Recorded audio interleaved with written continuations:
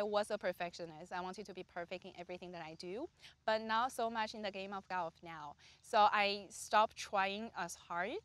Um, there was one Tuesday that I was playing the ladies comp, and so it was a foursome team event. I was trying really hard in the first three holes because I didn't want to drag down the team score.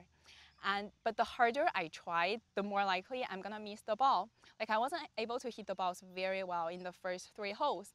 And my, my partner, she walked up to me and she said, you should stop trying so hard.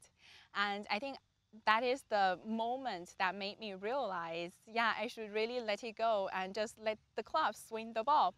And that is when everything has changed. I stopped trying as hard and my ball actually flies a lot further than when I was trying as hard. And it is after that incident that I started to use my driver, my hybrid, and yeah, that has totally changed my game.